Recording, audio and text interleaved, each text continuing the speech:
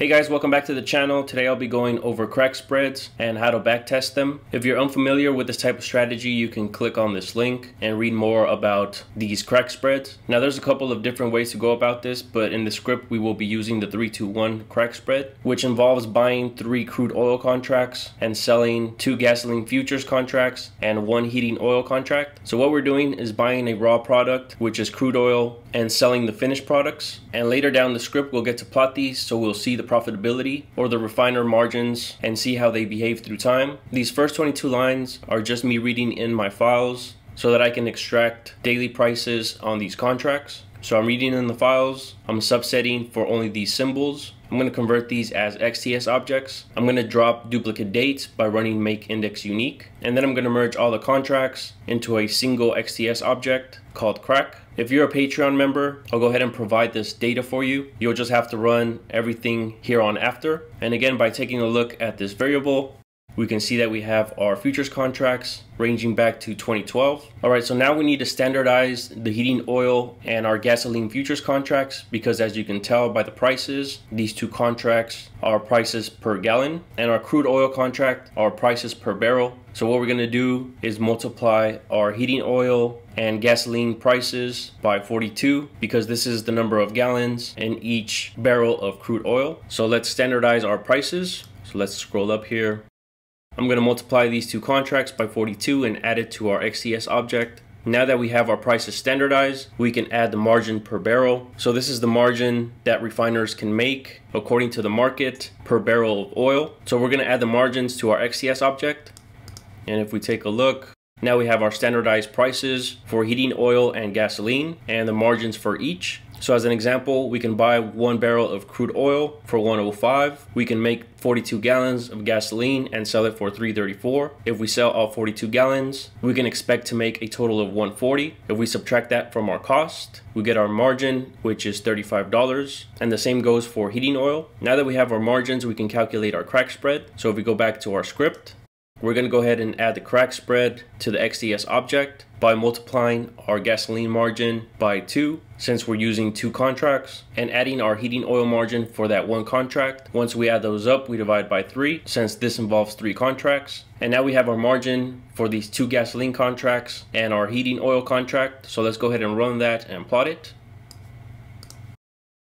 All right, we see that for the most part, these margins stay between 10 and 30, with the exception of this year, where it was highly profitable for these refiners to make these oil products. So as an example, let's plot this against CVX. So let's close this out. I'm gonna get data from Yahoo Finance for CVX. We're going to merge our crack spread with the adjusted closes of the stock. I'm going to reformat the column names, convert this as a data frame to plot, and we're going to use qplot to plot these two time series. And if we expand that plot, so from about 2016 to 2020, we see that margins were relatively stable. Therefore, we saw that the stock was able to take advantage of relatively stable margins. It's until we get these shocks, such as in 2020, where we saw a decline in margins. Therefore, the stock price fell in 2020. And then afterwards, the margins increased at a rapid pace, and we saw the same for the stock. So by taking a look at the margin, we can see some sort of mean reversion. So what I decided to do in the script was bet for margin margin expansion once the margins got below 10 and betting against the margin or betting that the margins will come down if this spread gets over 30 and holding this spread for a predetermined amount of time. So I wrote a function that tests that. So if we go to our script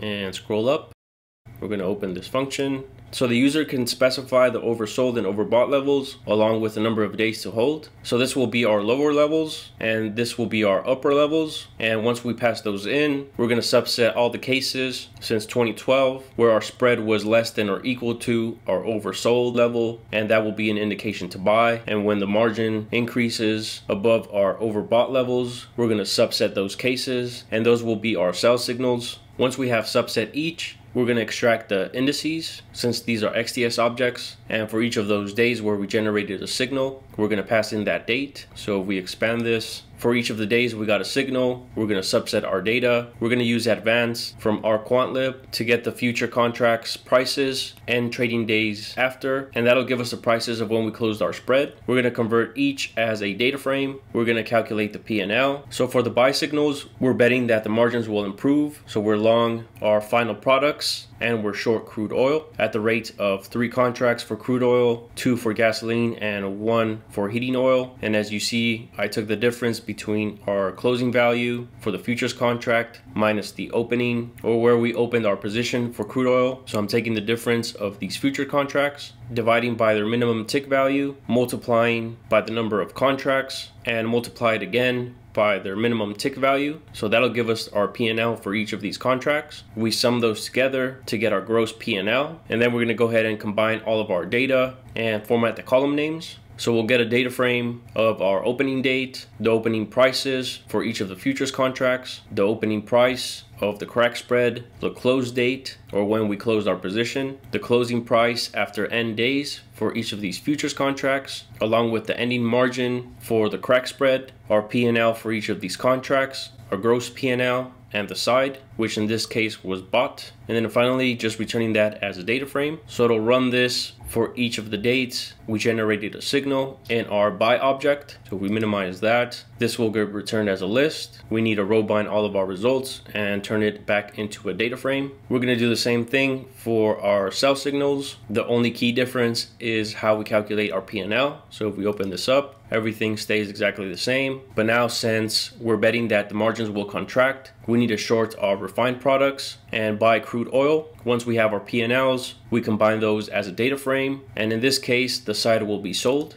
And then finally, just returning that data frame. So we'll go ahead and minimize this. And since I'm going to be row binding our sell signals with our buy signals, we need to convert this as a data frame as well. And then finally, just return the full data set for buy and sell. So let's go ahead and minimize this function. We'll go ahead and run it.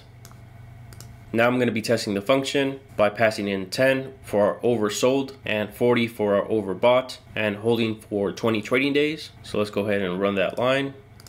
I'm going to split this data frame for the cases where we bought and for the cases where we sold. So if we run these two lines, we'll take a look at bought.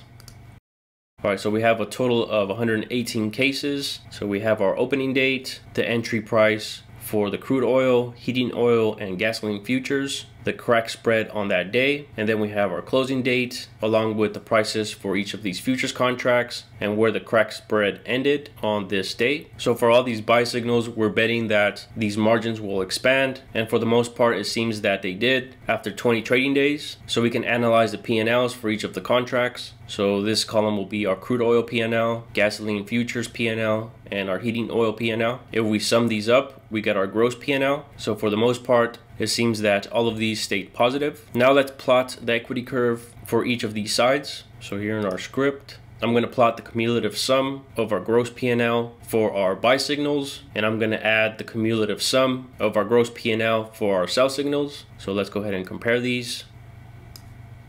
Let's expand this plot.